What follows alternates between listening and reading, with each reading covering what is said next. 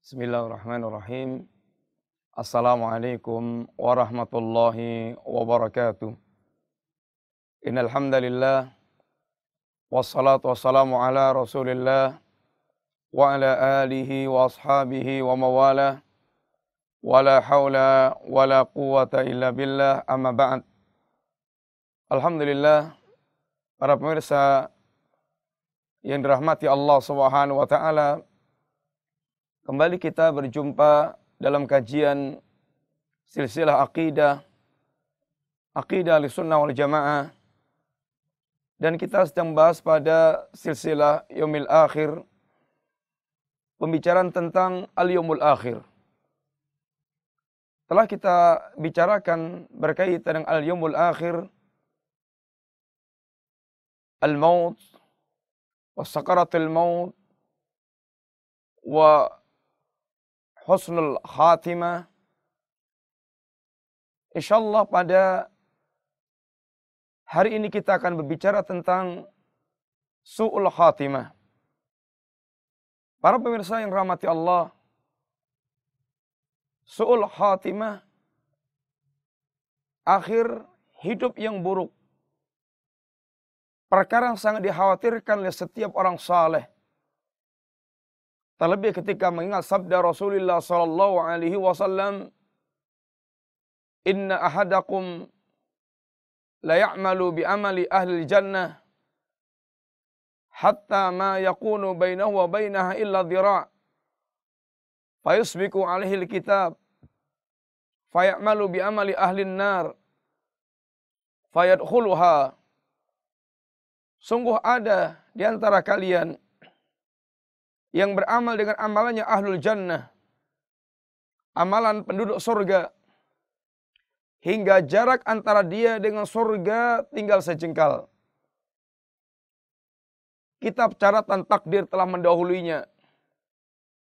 Lalu dia beramal dengan amalannya ahlul nar.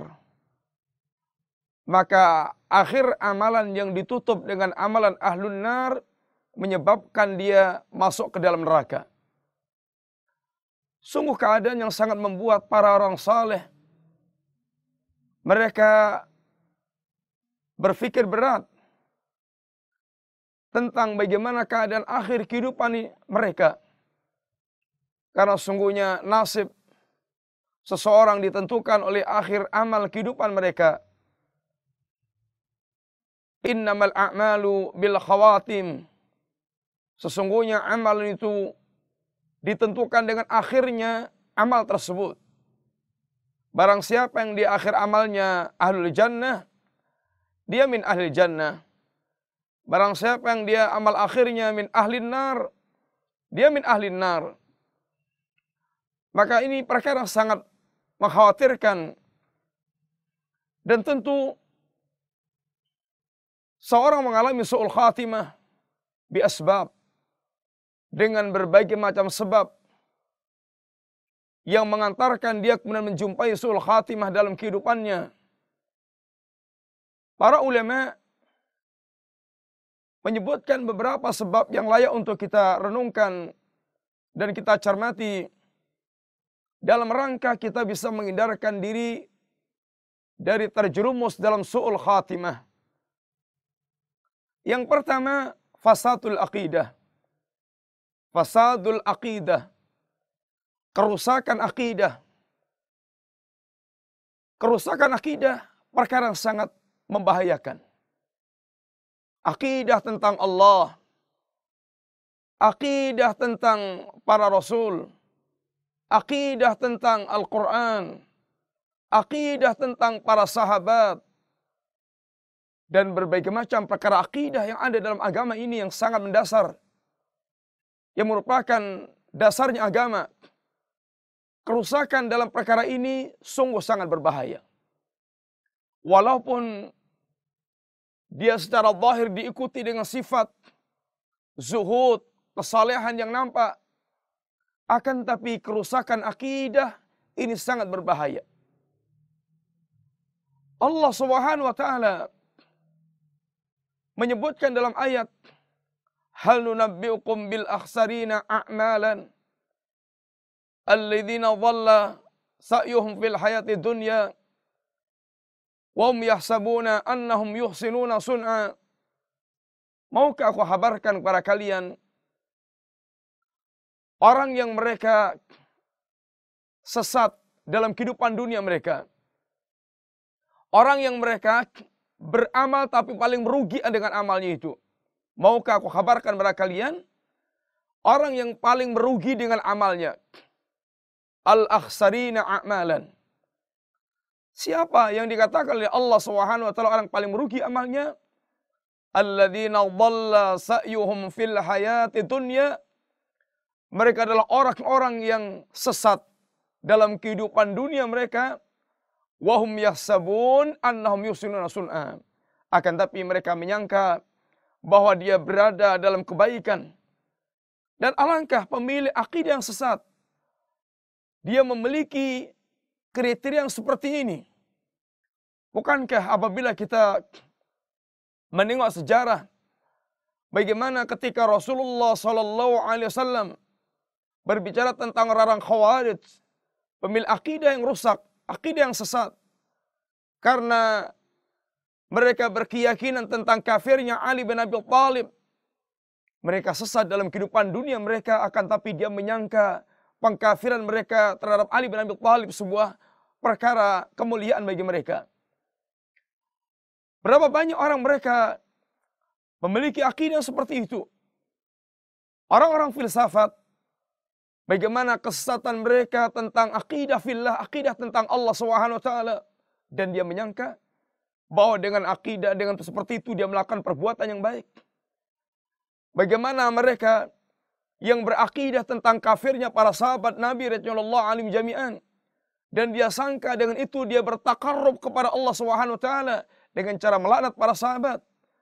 Apabila seperti ini dia simpan sampai matinya, sungguh dia berada dalam suul khatimah.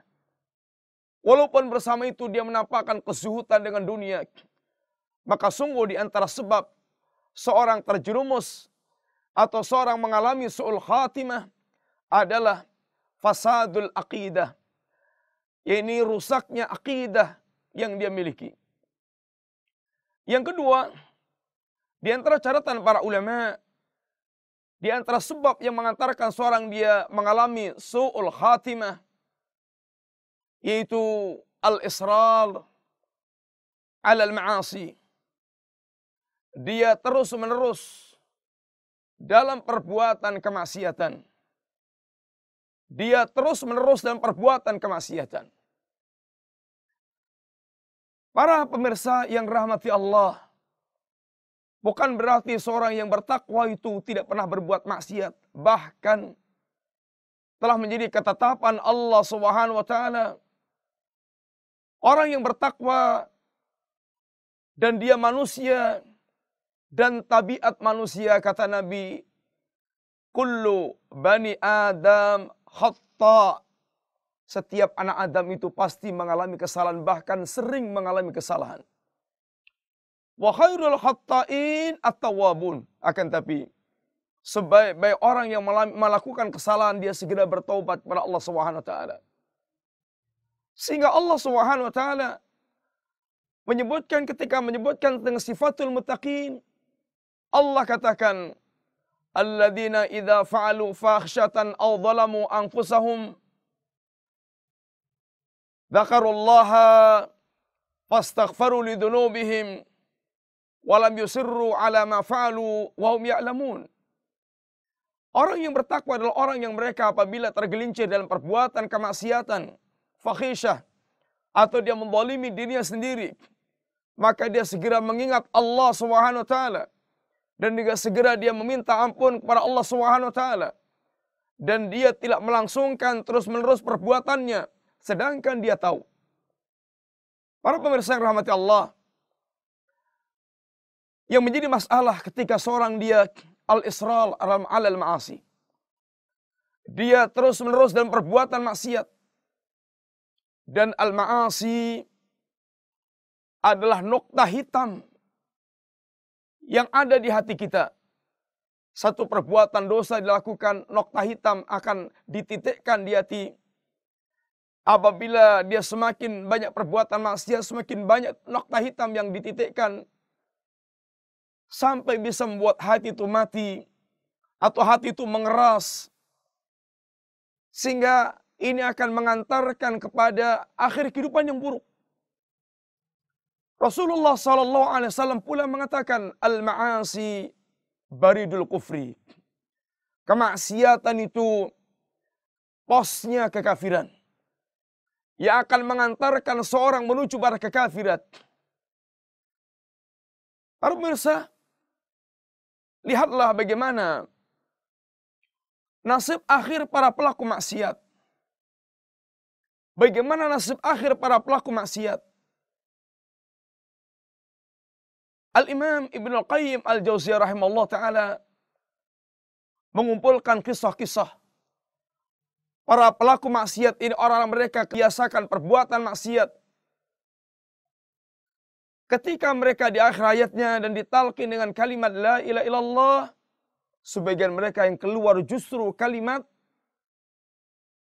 yang tidak sepantasnya. Dia tidak mengucapkan kalimat La ilaha illallah akan tapi sekak. Karena dia kebiasaan hidupnya menyanyikan waktu bersama dengan mereka yang tenggelam dalam permainan tersebut. Sebagian mereka yang hatinya sangat terikat dengan minuman khamar, mabuk-mabukan, maka ketika akhirnya ditalkin dengan kalimat la ilaha illallah, maka dia pun yang keluar isyrab wasqini. Minumlah dan berilah aku minum dan dia meninggal dalam keadaan seperti itu. Demikian pula kisah-kisah yang lainnya. Yang semisal dengan itu. Maka ini merupakan akhir kehidupan yang buruk. Disebabkan karena dia melangsungkan terus-menerus perbuatan kemaksiatan yang mereka lakukan. Di antara pula yang menyebabkan seorang dia terjatuh dalam su'ul khatimah akhir kehidupan yang buruk adalah dhaful iman. Adalah lemahnya keimanan seorang. Orang yang imannya kuat, maka dia akan sangat dimudahkan dalam bertakarub kepada Allah Subhanahu wa taala. Hatinya ada nilai kelezatan iman. Dan orang ini akan menguat dalam mewujudkan amal-amal yang dicintai dan diridhai oleh Allah Subhanahu wa taala. Akan tapi ketika orang dhaful iman, imannya melemah, yang menguat adalah hubbu dunia. Dan lemah hal-hal yang berkaitan dengan kampung akhirat sehingga dia lemah pula mempersiapkan untuk mempersiapkan diri ke kampung akhirat. Dhaful iman. Lemahnya keimanan seorang dan tentu iman melemah dengan segala macam faktornya. Sehingga yang akan menguat keinginan dia terhadap dunia. Dan apabila dunia telah merasuk ke dalam hatinya, maka betul-betul dunia akan menguasai dia. Sampai pada tingkat dunia bisa memperbudak dia. Sehingga seluruh waktunya, seluruh tenaganya, seluruh pikirannya, dia curahkan demi dunia. Sehingga dia seakan menjadi penyembah dunia ini akan mengantarkan pada su'ul khatimah. Dan di antara yang menyebabkan su'ul khatimah pula para pemirsa rahmati Allah ada al-udul anil istiqamah. Dia membelok dari jalan yang lurus. Dia tidak istiqamah dalam beragama. Sungguh, orang telah Allah berikan nikmat agama, nikmat petunjuk, Seandainya tidak dia syukuri nikmat tersebut, akan bisa menjadikan dia belok jalan, belok arah. Maka yang kita diajarkan doanya kepada Allah taala setelah kita mendapatkan petunjuk Allah. Rabbana la tuzigh qulubana ba'da id hadaitana wa hab lana min ladunka rahmah innaka antal wahhab. Ya Rabb, jangan engkau simpangkan hati kami setelah engkau berikan petunjuk kepada kami Doa agar dikokohkan, dikuatkan hati kita di atas al mustaqim. Ya muqallibal qulub, thabbit qalbi ala dinik. Ya muqallib waidat yang membulak balikan hati, kokohkan hatiku di atas agamamu. Istiqamah di atas agama Allah. Ada kemuliaan. Dan orang mereka membela dari istiqamah sungguh sangat bahaya.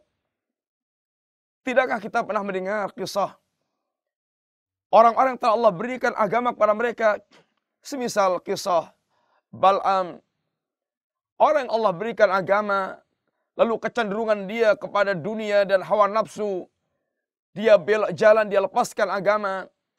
Kisah basisah al-ibadah yang kemudian dia menjadi penyembah iblis karena dia terjerat dalam maksiat dan tapan-tapan kekafiran. Maka sungguh ini merupakan perbuatan yang sangat membahayakan. Dan tentu sangat banyak hal-hal yang menyebabkan seorang dia kemudian menyimpang di serat al-mustaqim yang menjadikan seorang dia menjadikan akhir kehidupan mereka su'ul khatimah.